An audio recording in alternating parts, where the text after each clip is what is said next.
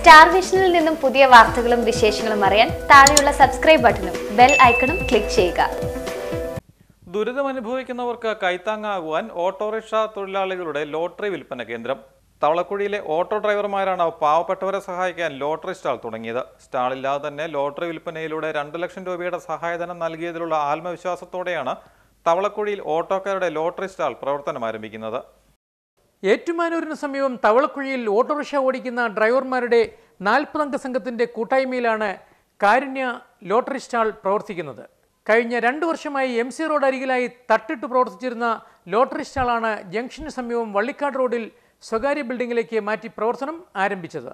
പ്രവർത്തനോദ്ഘാടനം ward കൗൺസിലറും മുൻ നഗരസഭാ ഉപാധ്യക്ഷയുമായ ജയശ്രീ ഗോപിക്കുട്ടൻ നിർവഹിച്ചു. ഏജൻസി തുടങ്ങി. അതിൽ നിന്ന് കിട്ടുന്ന ലാഭമുണ്ട്. വളരെയധികം പേർക്ക് സഹായവും അവരുടെ ബുദ്ധിമുട്ടുകൾ മാറ്റാനുമുള്ള കാര്യങ്ങൾ നിങ്ങൾ ചെയ്തു കൊടുക്കുന്നുണ്ട്. നാട്ടിന് വേണ്ടി നല്ല പ്രവൃത്തി ചെയ്യുന്ന നിങ്ങൾക്ക് പുതിയൊരു ആസ്ഥാനം തുടങ്ങിയിരിക്കുന്നു. ഇത്രയും കാലം വൈകിയായിരുന്നു. അവിടുന്ന് പുതിയൊരു ആസ്ഥാനം തുടങ്ങിയിരിക്കുന്നു. ഈ പദ്ധതി ഈ പ്രവർത്തനം നന്മ മനസ്സുള്ളവരുടെ കൂടെ എപ്പോഴും ഈശ്വരനുണ്ട്. സംഘടനയുടെ രണ്ട് വർഷത്തെ പ്രവർത്തനത്തിൽ നിന്നും സ്വരൂപിച്ച രണ്ട് ലക്ഷത്തിലധികം രൂപ നാളിതുവരെയായി കൂട്ടായ്മ നിർധന രോഗികൾക്കായി സഹായധനമായി നൽകി.